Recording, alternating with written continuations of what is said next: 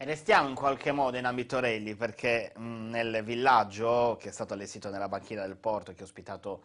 diversi stand, tra i quali quello dei Carabinieri, di Finanza e Barracelli. Per la prima volta c'era anche quello dell'Agenzia Dogane e Monopoli e abbiamo voluto conoscere meglio l'attività di questa importante realtà nazionale intervistando Roberto Chiara, a capo della direzione interregionale Toscana, Sardegna, Umbria.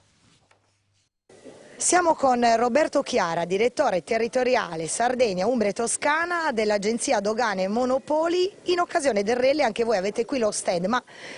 ci interessava, ci incuriosiva che voi parlaste della vostra attività, perché voi fate tantissimo quotidianamente e magari molte persone non sanno di che cosa vi occupate. Che cosa fate? Noi facciamo uh, tante cose ovviamente, qui in questo stand eh, lo scopo è proprio quello di dimostrare, eh, dare uno spaccato di quello che facciamo. L'attività si articola su settori, macro settori, quindi dogane, accise, eh, monopoli e giochi. Qui in questo stand abbiamo deciso di dare una indicazione per quello che riguarda soprattutto eh, la parte del contrasto alla contraffazione, quindi abbiamo una vetrina dove sono esposti i prodotti contraffatti, poi abbiamo esposto anche una macchinetta sequestrata per eh, quello che riguarda appunto il contrasto alle ludopatie, perché sono, questo è un fenomeno molto diffuso in cui noi siamo impegnati in prima linea, eh, l'Agenzia Dogane Monopoli è, il, presiede il Copregi che è il Comitato Prevenzione Giochi e quindi abbiamo inteso eh, dimostrare un pochino come funziona anche questo tipo di eh, contrasto contrasto alle, per tutelare la cittadinanza dal rischio di ludopatia.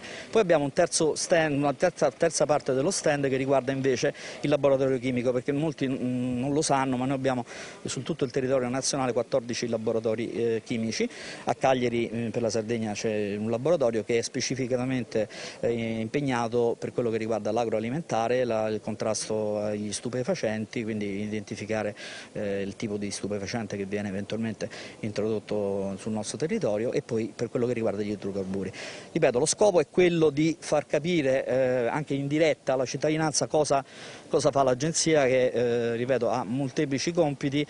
e che svolge un ruolo molto importante nell'ambito del, del, contrasto ai fenomeni illeciti eh, sul, sul, territorio, quindi eh, noi siamo felici di poter rappresentare eh, quello che facciamo in una manifestazione come rally di, eh, di Alghero che è comunque una manifestazione importante eh, che richiama comunque l'attenzione di di molta gente.